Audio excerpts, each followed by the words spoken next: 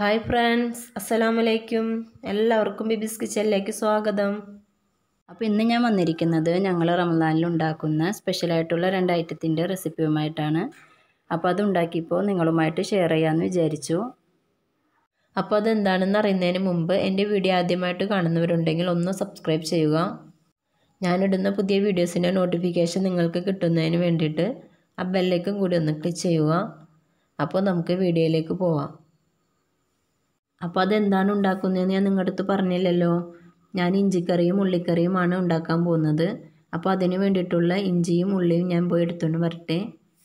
അപ്പോൾ ഞാനിവിടെ ഒരു കാൽ കിലോ ഇഞ്ചിയും അര കിലോ ചുവന്നുള്ളിയും കുറച്ച് പച്ചമുളകും എടുത്തുകൊണ്ട് വന്നിട്ടുണ്ട്. ഇനി നമുക്കൊന്ന് ഇത് നന്നാക്കി എടുക്കാം. ഞങ്ങൾക്ക് റമദാൻ വരുമ്പോൾ ഇഞ്ചിക്കറിയും ഉള്ളിക്കറിയൊക്കെ നിർബന്ധമാണ് പ്രത്യേകിച്ച് എന്റെ ഹസ്ബൻഡിന് റമദാൻ മുപ്പതും ഇഞ്ചിക്കറിയും ഉള്ളിക്കറിയും വേണം. അതുകൊണ്ട് തന്നെ ഞങ്ങൾ ഇത് നേരത്തെ തന്നെ റമദാനിക്ക് തൊട്ട് മുമ്പ് തന്നെ ഉണ്ടാക്കി വെക്കാറുണ്ട്. ഇതിപ്പോൾ ഞാൻ രണ്ട് മൂന്ന് ദിവസം മുന്നേ ഷൂട്ട് ചെയ്ത് വെച്ചതാണ്. ഇന്നിപ്പോൾ റമദാൻ ഫസ്റ്റിന് ഇത് വീഡിയോ അപ്ലോഡ് ചെയ്യാമെന്ന് വിചാരിച്ചു. ഇന്നത്തെ സ്പെഷ്യലായിട്ട് ശരിക്കും പറഞ്ഞാൽ എന്റെ ഉമ്മച്ചിയാണ് പന്ത്രണ്ട് വർഷം വരെ ഞങ്ങൾക്ക് ഇഞ്ചിക്കറിയും ഉള്ളിക്കറിയൊക്കെ ഉണ്ടാക്കി തന്നുകൊണ്ടിരുന്നത് പതിമൂന്ന് വർഷമായി കല്യാണം കഴിഞ്ഞിട്ട് ഈ കഴിഞ്ഞ വർഷം വരെയും ഉമ്മച്ചിയാണ് ഉണ്ടാക്കി തന്നുകൊണ്ടിരുന്നത് ഉമ്മച്ചി റമദാനിക്ക് തൊട്ട് മുമ്പ് തന്നെ ഇഞ്ചിക്കറി മുള്ളിക്കറിയൊക്കെ റെഡിയാക്കി വെച്ചിട്ടുണ്ടാവും. അപ്പോൾ ഈ തവണ മാത്രമാണ് ഞാനും ഉമ്മച്ചിയുടെ കൂടെ കൂടിയത്.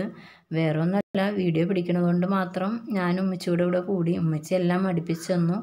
ഞാനുണ്ടാക്കി അങ്ങനെ ഇത്തവണ ഞാനും ഉമ്മച്ചോടും കൂടിയിട്ടാണ് ഇത്തവണത്തെ ഇഞ്ചിക്കറിയും ഉള്ളിക്കറിയൊക്കെ റെഡിയാക്കിയത്.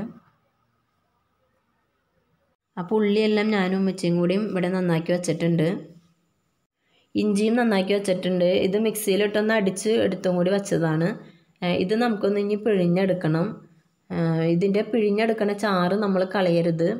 അത് നമുക്ക് ആവശ്യമുള്ളതാണ്. ചിലവർ ആ ചാറ് കളയും. എന്നിട്ട് ഇതിന്റെ ഈ വേസ്റ്റ് മാത്രമാണ് ഇഞ്ചിക്കറി ഉണ്ടാക്കാൻ എടുക്കുന്നത്. പക്ഷെ അതങ്ങനെ എടുക്കുമ്പോൾ അതിന്റെ ഇഞ്ചിക്കറിയുടെ യഥാർത്ഥ ടേസ്റ്റ് കിട്ടില്ല. അപ്പോൾ അതൊന്ന് എല്ലാവരും ശ്രദ്ധിക്കാം. പിന്നെ നമുക്ക് പച്ചമുളക് ആവശ്യമുണ്ട്. കുറച്ച് സവോള ഒരു സവോള ആവശ്യമുണ്ട്. പിന്നെ ആവശ്യത്തിനുള്ള വേപ്പില. ആദ്യം നമ്മൾ ഇഞ്ചിക്കറിയാണ് ഉണ്ടാക്കാൻ പോകുന്നത്. ഇനി നമ്മൾ ഒരു പാനിലേക്ക് ആവശ്യത്തിനുള്ള വെളിച്ചെണ്ണ ഒഴിച്ചു കൊടുക്കുക. നമ്മൾ ഇഞ്ചിക്കറി മുള്ളിക്കറിയൊക്കെ ഉണ്ടാക്കുമ്പോൾ എപ്പോഴും വെളിച്ചെണ്ണയിൽ ഉണ്ടാക്കാൻ നോക്കാം അപ്പോഴാണ് നല്ലൊരു ടേസ്റ്റ് ഉണ്ടാവുക. ഓയിൽ ഉണ്ടാക്കുമ്പോൾ അത്രയും ടേസ്റ്റ് ഉണ്ടാവില്ല. ഇനി നമുക്കതിലേക്ക് ഒരു രണ്ട് ചെറിയ ടീസ്പൂൺ ഉലുവ ഇട്ടെടുക്കാം ഒരു രണ്ട് ടീസ്പൂൺ കടുക് ഇട്ട് കൊടുക്കാം കടുക് മുലുവെന്ന് പൊട്ടട്ടെ. എന്നിട്ട് നമുക്കതിലേക്ക് വേപ്പില ഇട്ട് കൊടുക്കാം. വേപ്പില ഇത്തിരി അധികം ഇട്ട് കൊടുക്കാം. വേപ്പിലയുടെ നല്ലൊരു ഫ്ലേവർ കിട്ടാൻ വേണ്ടിയിട്ട്. ഞാനിവിടെ ഒരു കാൽ കിലോ ഇഞ്ചിക്ക് ഒരു സവോള ഇതേപോലെ കുഞ്ഞു പീസാക്കിയിട്ട് ഒന്ന് കൊത്തി എരിഞ്ഞിട്ടാണ് ചേർത്ത് കൊടുക്കുന്നത്. അതേപോലെ ചേർത്ത് കൊടുക്കാൻ നോക്കാം. പിന്നെ സവോള ചിലർ ഇഞ്ചിക്കറിയിൽ ചേർക്കാറില്ല. പക്ഷെ അത് ചേർക്കുമ്പോഴാണ് അതിന്റെ ടേസ്റ്റ് ഇനി നമുക്ക് ഇതിലേക്ക് നമ്മൾ പിഴിഞ്ഞ് വച്ചിരുന്ന ഇഞ്ചി ചേർത്ത് കൊടുക്കാം. നമ്മൾ ഇഞ്ചിക്കറി ഉണ്ടാക്കുമ്പോൾ ഒരു മൂന്നോ നാലോ അല്ലി വെളുത്തുള്ളി ഒന്ന് ചെറുതായിട്ടൊന്ന് അരിഞ്ഞിട്ട് നമ്മൾ സവോളയൊക്കെ ഇടുമ്പോൾ അതിന്റെ കൂടെ ഇട്ടിട്ട് ഒന്ന് വഴറ്റാം. ഞാനിപ്പോൾ സവോളയും വേപ്പിലേക്ക് ഇട്ടതിന് ശേഷമാണ് വെളുത്തുള്ളി ചേർത്തത്. അപ്പോൾ വീഡിയോ പിടിക്കാൻ മറന്നുപോയി. അപ്പോൾ അതൊന്ന് നിങ്ങൾ ശ്രദ്ധിക്കുക പിന്നെ ഇത് ഗ്യാസ് ട്രബിളിനും നല്ലതാണ്. ഇഞ്ചി നന്നായിട്ട് നല്ല ചുമന്ന കളറാവുകയും ചെയ്യണം. നന്നായിട്ട് മുരിഞ്ഞും കിട്ടണം. ഞാനിവിടെ ഒരു വലിയ പച്ചമുളക് ആറെണ്ണം റൗണ്ടിൽ കട്ട് ചെയ്തിട്ട് ചേർത്ത് കൊടുത്തിട്ടുണ്ട്. ആവശ്യത്തിനുള്ള ഉപ്പും ചേർത്ത് കൊടുക്കാം. ഇനി ഇതിൽ കിടന്ന് സവോളയും ഇഞ്ചിയും പച്ചമുളകും എല്ലാം നന്നായിട്ട് മുരിഞ്ഞു വരട്ടെ. എന്നിട്ട് നമുക്ക് ഇതിലേക്ക് പൊടികൾ ചേർത്ത് കൊടുക്കാം.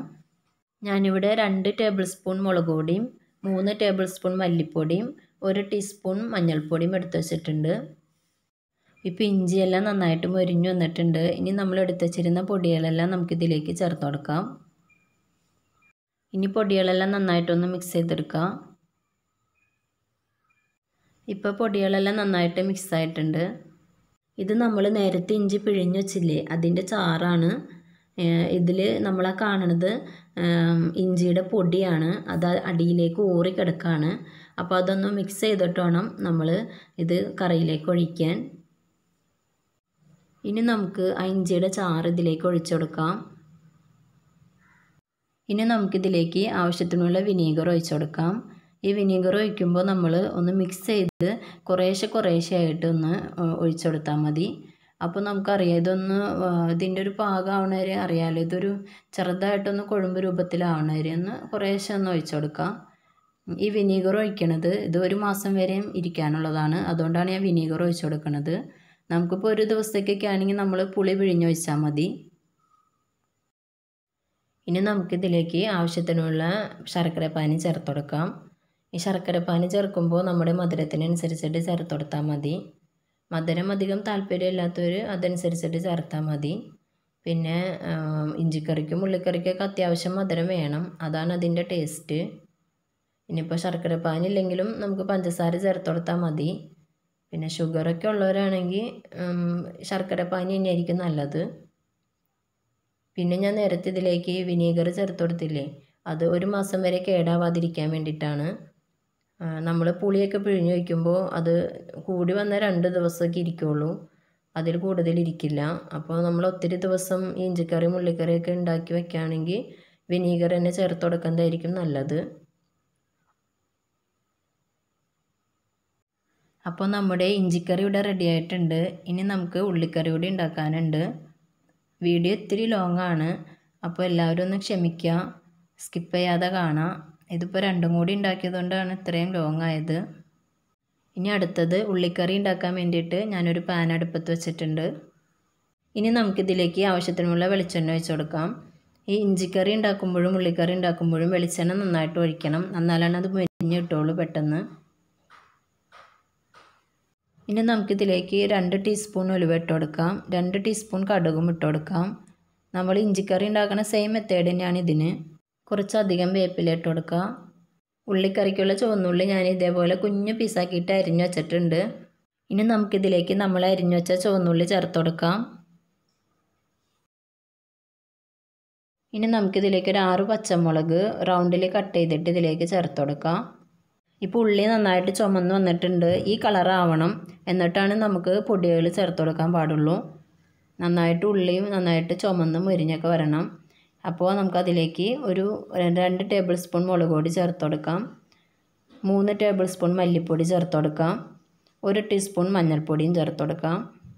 എന്നിട്ടൊന്ന് നന്നായിട്ടൊന്ന് മിക്സ് ചെയ്തെടുക്കാം.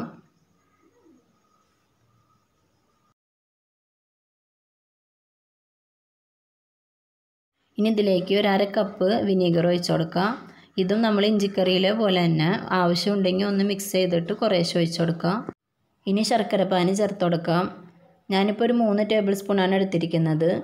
ഇതും ഞാൻ നേരത്തെ പറഞ്ഞ പോലെ തന്നെ നമ്മുടെ മധുരത്തിനനുസരിച്ചിട്ട് ചേർത്ത് കൊടുത്താൽ മതി. അപ്പോൾ നമ്മുടെ ഉള്ളിക്കറി ഇവിടെ റെഡി ആയിട്ടുണ്ട്. ഇത് നമുക്ക് ചോറിന്റെ കൂടെ വേറെ കറികളൊന്നും ഇല്ലെങ്കിലും നമുക്ക് ഇത് മാത്രം കൂട്ടി കഴിക്കാൻ പറ്റും. പ്രത്യേകിച്ച് ഇപ്പോൾ ലോക്ക്ഡൗണൊക്കെ ആയതുകൊണ്ട് എല്ലാവരും സാമ്പത്തിക ബുദ്ധിമുട്ടിലായിരിക്കും. ഇതിന് പ്രത്യേകിച്ച് ചിലവൊന്നുമില്ല. നിങ്ങൾ കണ്ടില്ലേ? ഇഞ്ചി പച്ചമുളക് പിന്നെ ചുവന്നുള്ളി ഒരു സവോള അങ്ങനെ അത്യാവശ്യം കുറച്ച് സാധനങ്ങൾ മാത്രം മതി ഇത് ഉണ്ടാക്കാൻ. അപ്പോൾ ഈ റംദാൻ മുപ്പതിന് നമ്മൾ മുപ്പത് വരെ നമുക്കിത് ഉപയോഗിക്കാൻ പറ്റും. ഇത് രണ്ടും ഉണ്ടാക്കി വെക്കുകയാണെങ്കിൽ.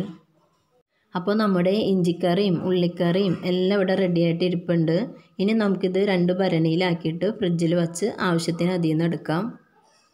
ഇത് നമ്മൾ എടുക്കുന്നതിന് കുറച്ച് മുമ്പേ ഫ്രിഡ്ജിൽ നിന്ന് എടുത്ത് പുറത്ത് വയ്ക്കാം എങ്കിലാണ് ഇതിന്റെ വെളിച്ചെണ്ണയൊക്കെ ഒന്ന് തെളിഞ്ഞു വരുള്ളൂ. അപ്പോൾ അതൊന്ന് ശ്രദ്ധിക്കാം.